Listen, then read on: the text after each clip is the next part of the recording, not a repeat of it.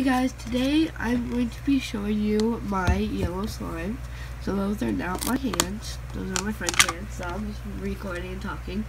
And my voice is very, very raspy right now because I just woke up at like 1.30, 30 minutes ago. And so yeah, this is my yellow slime. It's very like stretchy and pokeable. And it's just like that now because we weren't playing with it for like 10 hours. So yeah.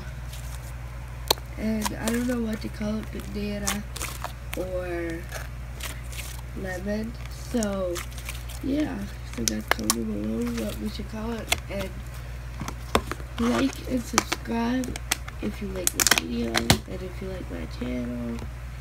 And go tell your friends about it. And thank you guys for watching. I will be doing giveaways. So thanks for watching and bye.